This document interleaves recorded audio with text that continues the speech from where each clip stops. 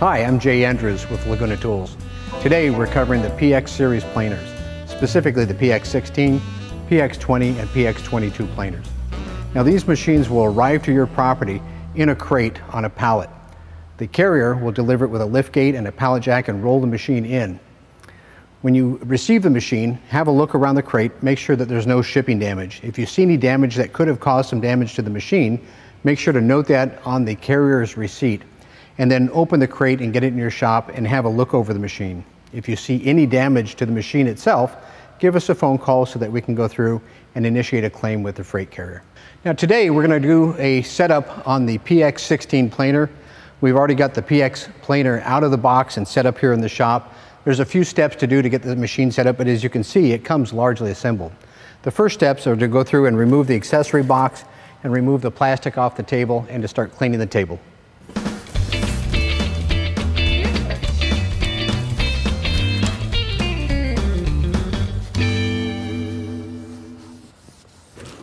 Now that the machine tables are clean, it's time for the accessory box. There's not a lot of accessories in here since the machine is fairly completely assembled. One of the things that you'll find in here are the lift hooks. There's four of these lift hooks included in the accessory box. They mount to the front of the machine and these make it easy to lift the machine up using either a sling or a piece of pipe that goes across from one side to the other to get the machine up and off the pallet or to move it around while you're doing setup. If you don't need those, you can leave them off the machine. You'll also find the dust hood that will bolt to the back.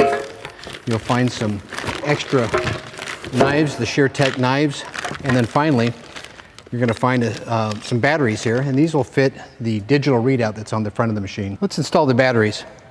Right here in the front, the cover comes off. The batteries simply snap into the digital readout.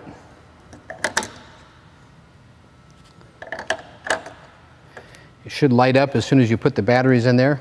Go ahead and reinstall the cover. And now on to the next step. Now in the same bag that the batteries came in, you'll find four screws and an Allen wrench. And those are to attach the dust hood.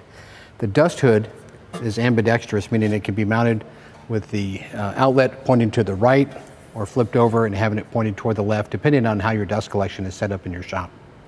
Now today I'm going to install the dust port facing the right rear of the machine. The holes are at the back of the upper portion of the cabinet. Simply install the screws into the hole and run them in with the Allen wrench that's provided.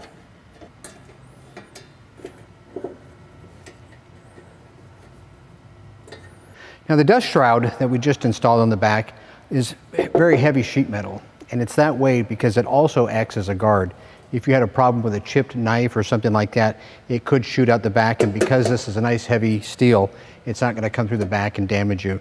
There are four screws on the back. We've got the two at the top. We've got two on the bottom. The two on the bottom will need to be removed anytime that you're opening the lid and doing a knife change. Now over on the side of the PX series planers, you'll see that there's a crank handle with a hideaway handle. That handle can be folded in if you're moving the machine and to keep it from protruding in the shop. And this is used to raise and lower the table. You'll see that there's a gauge on the front of the machine. There's also the digital readout for the height. Uh, just above that, you're going to see that it is a two-speed machine, and this is the transmission. There's a neutral position that the machine is shipped in, and this can be moved either in or out to shift it from high range to low range. Make sure that you only move this knob while the machine is running. You don't want to uh, shift this from low range to high range while the machine is in the off position.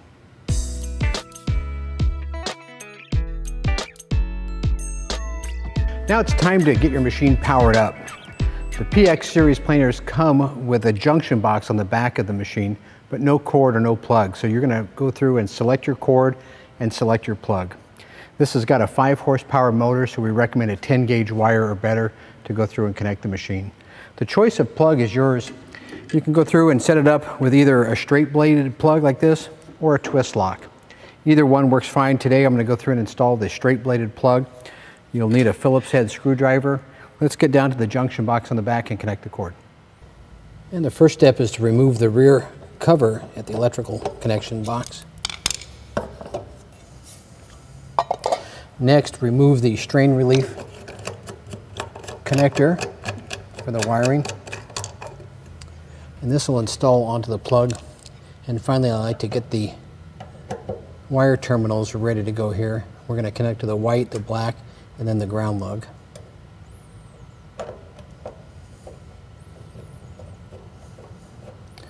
Those are ready to go. Now I've already prepared my individual wires with spade connections on the end. We're going to use two hot legs and a ground. The ground will be green and then the black and white are both considered hot on 220 volt power so those can connect actually either way uh, on the power. Next prepare your strain relief by inserting the wires through and sliding this down onto your power cord and get that out of the way. The next piece is the strain relief itself that fits into the fitting. Slide each wire through. One at a time is generally easiest, and this is flexible to make it a little bit easier. Now that those are through, I'll slide that down again onto the power cord so that that's ready to go. And then finally, I'll slide this through the fitting that's going to go into the bottom of that electrical box. Again, I find it's easy to put these through one at a time so you don't clog the fitting up as they're going through. Now that those are in place, bring it down, bring the strain relief plug in there. Give yourself plenty of slack right now. We're going to slide this into the bottom of the electrical box, make the connections, and then finally we'll bring this back up and tighten it in place. Now, anytime you're doing electrical work on the machine, make sure that it's unplugged and that you've got the plug visible in front of you. That way there's no mistakes. You're going to feed the wires through the hole in the bottom of the electrical box. We're going to connect the two power wires, which in this case are black and white, but those could be black and red or it could be a blue wire. But those will always be the two power connections. Those will connect to the white terminal and the black terminal on the back here. And then this is the ground wire. The ground wire will always be green or it'll have a wire that has a green stripe or a green tracer to it, and that's going to connect to the green terminal. Let's slide these through the power box. And before you make any other connections, make sure that you slide the ring that locks the fitting in place over these wires. I'll leave it loose right now, but I'll connect that again in just a few moments here once we have these wires in place. Slide that over and get it down out of your way. Leave plenty of room here to work. Let's go ahead and connect the white wire first. And again, these spade terminals make it really easy to make these connections. You can also do this with a ring style connection if you prefer that. We'll tighten this down. Next, I'll connect the black wire to the black terminal here.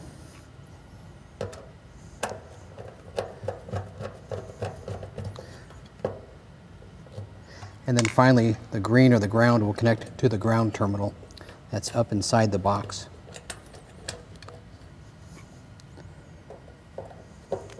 Pretty simple connections, but if you're uncomfortable doing this, you can get an electrician to help you out with it. Now that the wires are tight, I do a little tug test to make sure that they're all nice and tight. Those are good. Finally, bring the fitting up to the bottom of the box and slide it through. Work that fitting nut onto the connection and tighten it down.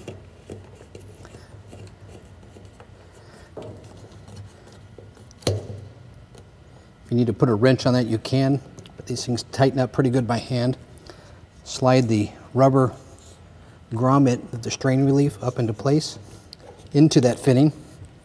And then finally, the plastic nut will secure everything in place.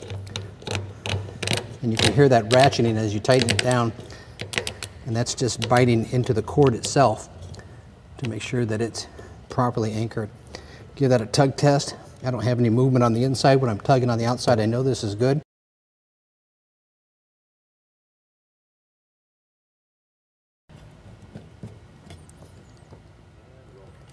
All right, now that I've got the machine wired up on the back, I've gone ahead and plugged it into the wall. I have power to the machine and it shouldn't start right now because the e-stop, the emergency stop is in the in position. Let's try it. So I verified that the e-stop, it works in this position. Let's go ahead and pull this out. Some of these are just a straight pull out and some you pull and twist a little bit as you're pulling it out. That'll mean that the machine is armed and ready to start. It should start right up and then I can check the off switch as well. powers up. It sounds great and it sounds really quiet actually. Let's go ahead and check the off button. I do these series of tests when I first start up a machine just to make sure that everything works so that when I need to shut it off, that I can shut it off properly. Okay, so we verified that the off button works. Let's start it up. Check the e-stop. The emergency stop works great. Now I'm ready to go through and calibrate the planer. Calibrating the planer means that I'm going to feed a board through that's already been jointed and flattened on one side. I'll put that side down, run it through the planer, measure the board for thickness, and then finally set the scale, the hairline readout, by adjusting it up and down to measure the uh, thickness of the board exactly. So we'll go through planer board, check the thickness, and then adjust the hairline readout.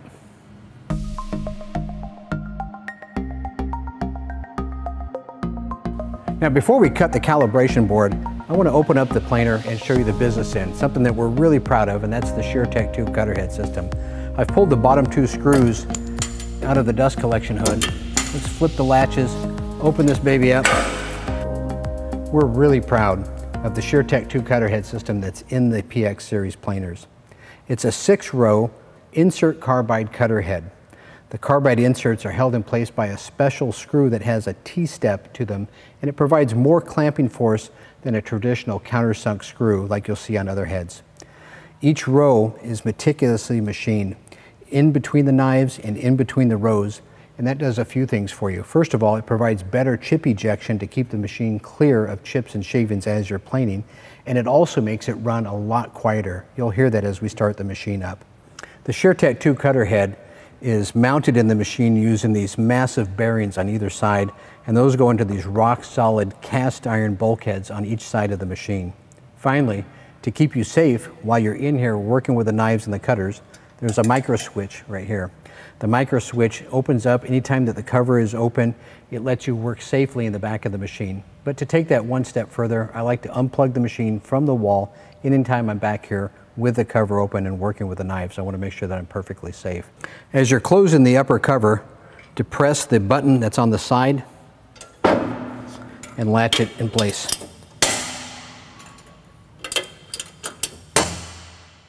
The PX series planers feature industrial rollers to make infeed and outfeed easy. You simply pull out and lock in place using the lock knobs on the bottom of the cast iron table. The industrial rollers make it really easy to feed material through, and they're not likely to scratch your material here since they have a durable coating on, each, on the outside of each roller. Now, a few other features in the PX series planer are the feed rollers, and these are great for feeding material back to the operator to put it through the planer again. You've got an ergonomic control panel on the front of the machine, and finally, a modern stylish cabinet that houses the entire package.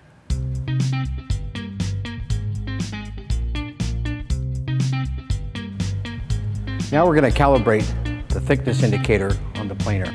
The first thing that I'll do is I'll raise the table up using this handle and you'll notice that the table sets on four Acme threaded screws that raise the table up.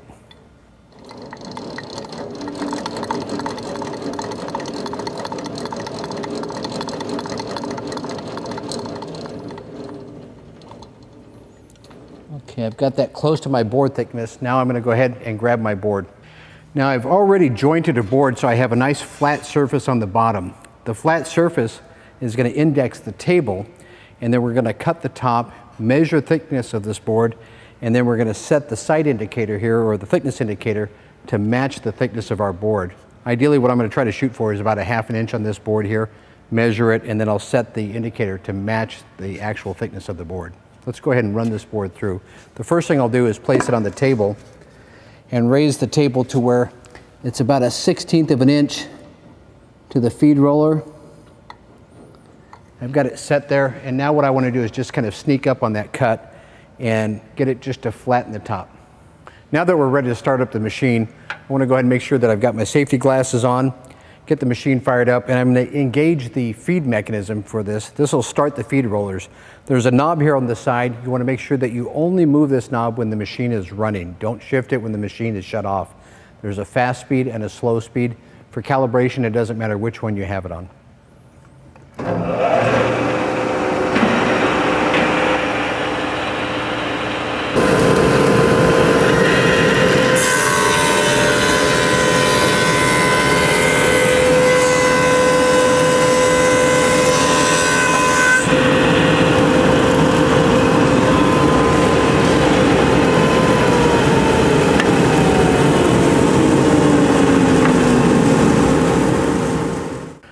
That I've got the board milled, I'm going to go through and measure it with a set of calipers and get a pretty accurate reading here.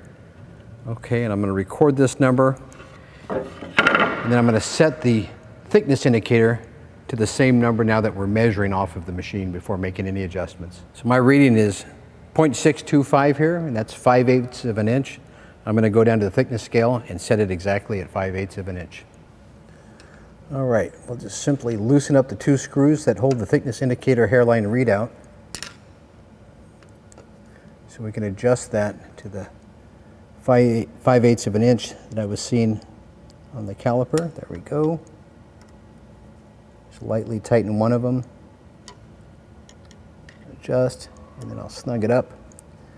Now this is set exactly at 5 eighths of an inch, which is what our board was reading. Now let's set the digital readout. Setting the digital readout means you're going to select either inches or millimeters. Right now I've got it set to inches and you can toggle back and forth between inches and an absolute value by hitting this button right here. So I've got it set on absolute and in inches. I'll hold the calibration button here, push and hold until you see the ABS flashing.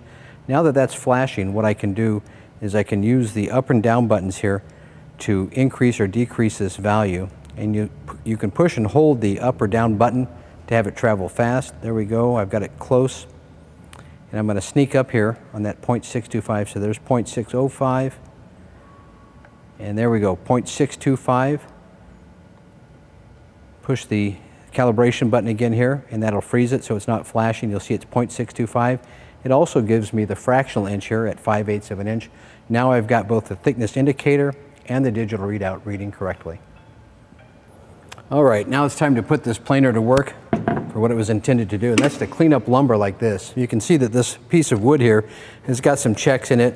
The surface isn't smooth and it's got this nasty little step to it. I want to go through and make a pass or two through here, clean up the surface and see what it can do.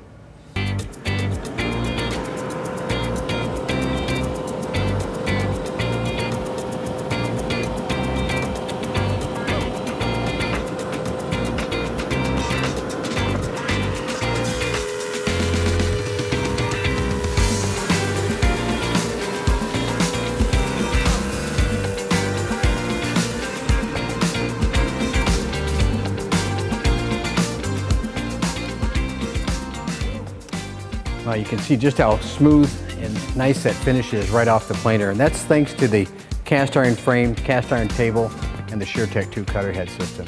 Now, if you have any questions on the PX16, the PX20, or the PX22, give us a phone call at 800-234-1976 or look us up on the web at lagunatools.com.